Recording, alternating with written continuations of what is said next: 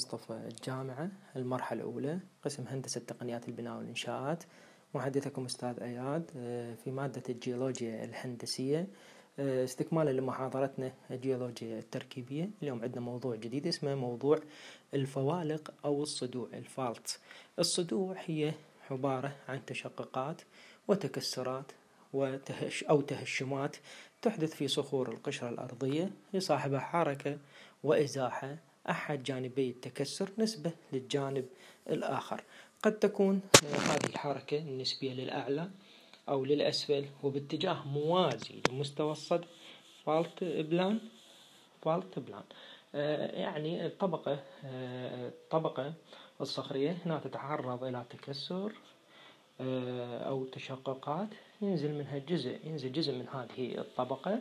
طبعا هذا الجزء أما يكون للأعلى راح يكون آه، تأثير قوة الضغط يرتفع إلى الأعلى أو يكون آه، باتجاه الأسفل آه، نتيجة الشد بفعل الجاذبية الأرضية. خلف هذا الجزء أكو مستوى سميناه مستوى الصدع اللي هو الجزء اللي احتك مع الجزء الأسفل سواء صعدت الطبقة للأعلى أو للأسفل هذا سميته مستوى الصدع. فالت بلان مثل ما قلنا الصدوع هي تصير أما نتيجة الضغط أو آه، شد جانبي في الأرض. يقود هذا إلى حركة الكلى يعني حركة الكتل الصخرية آه، حركة آه، نسبية. يسمى المستوى اللي تحصل عليه الحركة على امتداد مستوى الصدع مستويات وهاي المستويات تكون أما مائلة أو رأسية وأفقية. تسمى الجهة اللي أسفل مستوى الصدع مثل ما قلنا. أسفل مستوى الصدع راح أسميها بالحائط السفلي اللي هو foot wall. والجهة اللي تكون أعلى مستوى هذا المستوى راح نعرفها أو نعرفها بالحائط العلوي hanging wall المسافة المقاسة بموازاة مستوى الصدع أسميها بالمنزلق slip والمسافة آه، العمودية بين الكتلتين آه، المتحركتين أسميها رمية الصدع اللي هي throw والمسافة الأفقية أسميها إزاحة الصدع ال heave طبعا هاي الصدوع هاي الفوالق تحدث في الصخور الرسوبية لأن الصخور الرسوبية مثل ما عرفنا ودرسنا سابقا هي عبارة عن طبقات. هذا رسم توضيحي يبين لنا آه، يعني آه، الحكي اللي حكيناه ال FW اللي هو foot wall راح يمثل الحائط السفلي ال HW يمثل ال hanging wall الحائط العلوي وال slip هذا المنزلق اللي قلنا عليه المسافة اللي تكون بموازاة. مستوى الصدع سميتها slip وال throw رمية الصدع هي المسافة بين الكتلتين بين الحائط السفلي والعلوي سميتها throw رمية الصدع. والإزاحة الأفقية أو المسافة الأفقية سميتها الهيف اللي هي إزاحة الصدع. الدلائل ما هي الدلائل على وجود فالق؟ يعني شنو الدلائل اللي أنا تبين أن هنا صار أكو فالق أو صار أكو صدع أول شيء عندي انسقال الفالق اللي ناتج من الاحتكاك. انسقاله هذا الفالق. يعني من يصير أكو تهشم تكسر بهاي الطبقة الصخرية وراح يصعد بها جزء راح يصعد هذا الجزء إلى الأعلى أو للأسفل راح يسبب لي احتكاك. يكون أكو احتكاك هناك بين الحائط اللي ثابت السفلي راح يسوي يسبب لي انسقال. لهذا الفالق. فيصير اكو انسقال للفالق نتيجة الاحتكاك الإحتكاك اللي صار آه، بالطبقة الصخرية بعد ما صعدت أو نزلت للأسفل. اثنين آه، تكون عندي أكو خطوط موازية رفيعة على جانبي الفالق وهاي تسببها بلورات المعادن ومثل ما تعرفون. يعني إحنا قلنا المعادن بالمحاضرات السابقة هي وحدة تكوين الصخور لأن هي الصخور تتكون من مجموعة معادن. فعندما ينحصر عندي فالق هاي بلورات المعادن اللي موجودة آه، في الصخور راح تسبب لي خطوط رفيعة على جانبي الفالق. ثلاثة وجود بريشيا واللي هي شنو هاي البريشيا عبارة عن فتات مهشمة من الصخور ذات زوايا حادة. هي فتات مهشمة من الصخور تكون ذات زوايا حادة أسميها بريشيا معادن تترسب أربعة معادن تترسب على جانبي الفالق مثل معدن الكالسايت اللي هو عبارة عن كربونات آه، الكالسيوم. آه، تحدث مثل ما قلنا في الصخور الرسوبية ليش؟ لأنها عبارة عن آه، طبقات. أنواع الصدوع هسه عندي أنواع الصدوع اللي هي type of faults. أول شيء عندي الصدوع الاعتيادية أو أسميها العادية normal fault. هذا نوع شاسع هذا نوع شاسع ينتج منين من قوة الشد بتأثير الجاذبية الأرضية. بما أن قوة الشد فوين راح يتجه يتجه للأسفل. يعني قوة الشد حاول الشد للجسم أو الطبقة الصخرية آه، إلى الأسفل. هنا راح يتحرك عندي الحائط العلوي نسبة المن للحائط السفلي اللي يكون ثابت. فالحائط العلوي راح يتحرك نحو الأسفل بتأثير الشد. طبعا زاوية ميل المستوى الصدع هنا تكون كبيرة بالصدع الاعتيادي تكون أكبر من خمسة وأربعين. اثنين عندي الصدع المعكوس اللي هو ريفيرس فالت آه، وهذا ينشأ نتيجة قوة الضغط. قوة الضغط يعني هاي القوة مال الضغط راح تحاول ترفع آه، الحائط إلى الأعلى. يعني ارتفع الحائط العلوي عندي للأعلى بتأثير الضغط. بالنسبة للحائط السفلي طبعا هنا الزاوية تكون أقل مما هو آه، زاوية الميلان أقصد أقل ما هو في الحائط. في الصدع الاعتيادي راح تكون. أما إذا كان الصدع آه، يكون بزاوية قليلة جدا إذا صار بالصدع زاوية قليلة جدا أو كان شديد الميل راح أسميه صدع آه، دسر أو زحفي يعني هو نفسه آه، معكوس بس من يصير تأثير قوة الضغط كبيرة جدا. راح يكون عندي ميل شديد يعني للأسفل وتكون الزاوية قليلة أسميه هنا صدع دسر أو زحفي. إذا قلت لك مثلا بالامتحان شنو الفرق بين الصدوع الاعتيادية والصدوع المعكوسة؟ راح تقول لي مثلا الصدع الاعتيادي آه، يحصل نتيجة الشد بتأثير قوة الجاذبية الأرضية. الصدع المعكوس يحصل نتيجة قوة الضغط.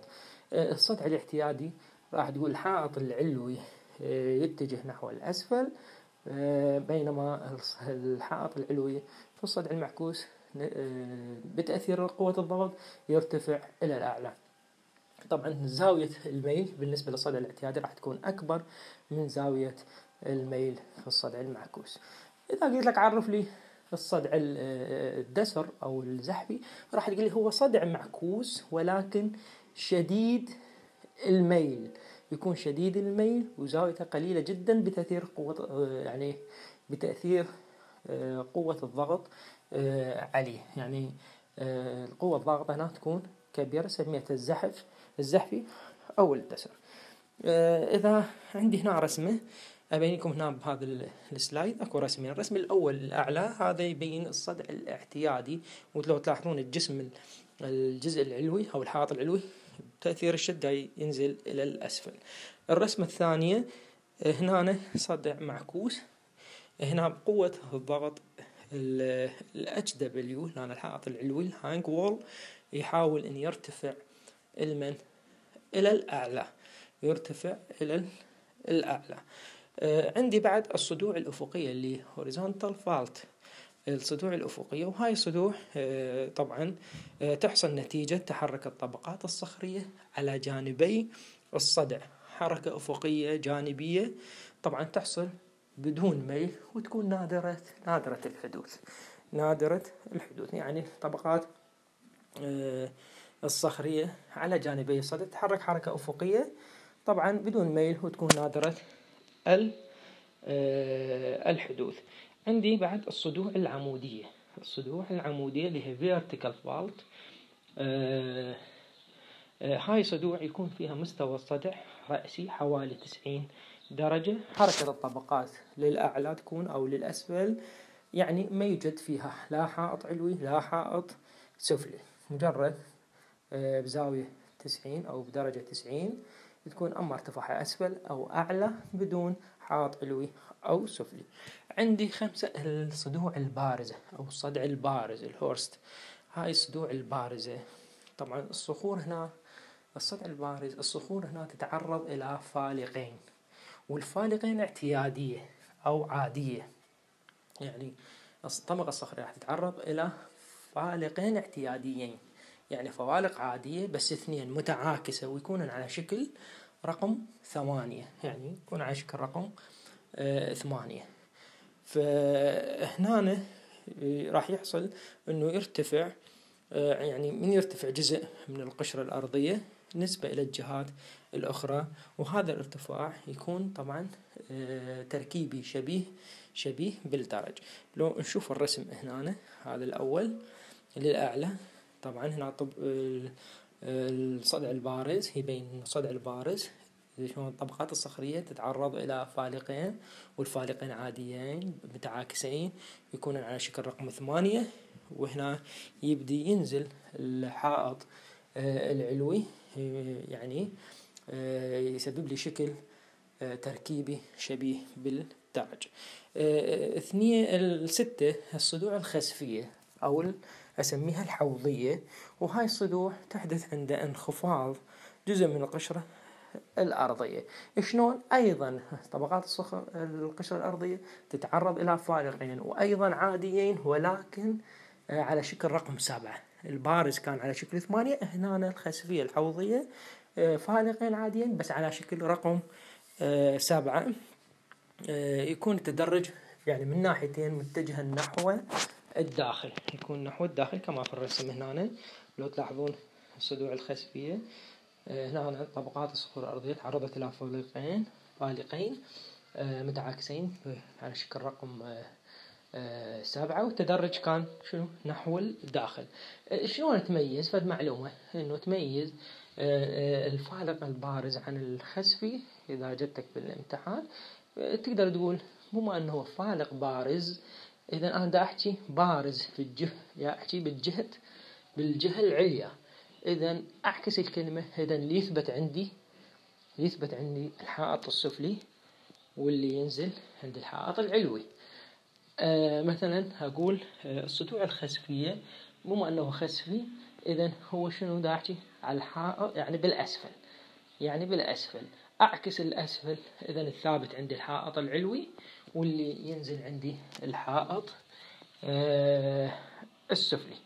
الثابت العلوي واللي ينزل عندي الحائط السفلي بالنسبة للصدوع الحوضي. هاي في الطريقة يعني حتى ما تقدر تميزها آه بال بالامتحان. آه عندي الأهمية الاقتصادية للفوالق طبعا تعتبر الفوالق أو الصدوع مصايد للمعادن والمياه الجوفية. والبترول. ولكن المعادن تكون أكثر شيء مثل المنغنيز النحاس الكالسايت. أهمية الصدوع وطريقة تشخيصها طبعا الصدوع تمثل خطر واضح على أقامة وسلامة المشاريع الهندسية العملاقة الكبيرة. ومن الضروري معرفة إذا كان يصاحبها حركة مستقبلا أو لا. يعني إحنا لازم كمهندسين نعرف إنه هاي الفوارق هاي صدوق بالمستقبل يكون بها حركة يكون بها إزاحة حتى آه، نراعي سلامة مشاريعنا المشيده آه، ممكن ممكن آه، يعني إن يكون صدوع نشطة أكتف وهي التي سبق إنه رصد رصدت حركتها وسجلت إزاحتها من خلال الطبقات المتأثر بها. وقد تكون طبعا الصدوع غير نشطة يعني أو غير نشيطة خاملة inactive وهي اللي يستبعد فيها حركة الطبقات الطبقات الصخرية على جانبها مستقبلا فالصخور الصدوع الغير نشيطة ما يحدث فيها حركة تبقى خاملة بالمستقبل. آه عندي مثال توضيحي لو نتناول سدين أو سد آه معين سمينا واحد A والثاني B وأكو في كل واحد منهم كل نوع أكو قوة أفقية horizontal مثل ما ملاحظون بالأسهم. آه، قوة أفقية horizontal وقوة آه، عمودية vertical وبالنص result اللي هي محصلة. وجوها أكو خط هذا الأسود نسميه نطاق التصدع اللي هو fault zone هذا نطاق التصدع. طبعا بالشكل A هنا نطاق التصدع يكون باتجاه محصلة القوة بينما بال شكل بي يكون نطاق التصدع عكس محصلة القوة. عكس محصلة آه، القوة. آه، هنا السؤال أيهما يكون آه، أكثر أمانا أو أيهما ممكن أن يكون منهار من الشكلين؟ طبعا بالتأكيد الجواب راح يكون أي هو راح يكون غير آمن. ليش؟ لأن باعتبار أنه اتجاه محصلة القوة باتجاه التصدع. فهنا راح يكون غير آمن بينما بالشكل بي لا راح تكون المخاطر بهذا التركيب ما موجودة أصلا في هذا الموقع خصوصا إذا تعالج ليش؟ محصلة القوة تكون عكس نطاق التصدع أو الصدع. يمكن التعرف على وجود الصدوع في التراكيب الجيولوجية من خلال الظواهر التالية. أول شيء عندي الاختفاء والظهور الفجائي لطبقات صخرية. عند تتبع الطبقات على سطح الأرض. ظهور واختفاء. آه، يعني للطبقات الصخرية إذا يعني إذا تتبعنا الطبقات على سطح الأرض. التغير في تسلسل الطبقات وهاي اللي تبين سجلات الحفر حفر الآبار التجريبية مما قد يشير إلى أن هذه الطبقات أثرت بحركات الفوالق. هذا عامل ثاني. ظاهرة ثلاثة ظاهرة امتلاء الشقوق الفوالق بالمعادن. يعني إذا نجي على الشقوق اللي سببتها يعني هاي الفوالق نلقاها ممتلئة بالمعادن والسيليكا بعد عندي مثلا وجود خدوش آثار انزلاق الفالق احتكاك الطبقات بعضها البعض على مستوى الفالق كل هاي تبين لي آه، التعرف على وجود آه، آه، الفوالق. كلها تبين على وجود هناك فوالق. طبعا هنا راح نكون استكملنا محاضرة الفوالق على أمل أن ألتقيكم بمحاضرة أخرى نشرح بها الفواصل الجوينتس حتى تكمل محاضرة الجيولوجيا التركيبية. السلام عليكم ورحمة الله وبركاته.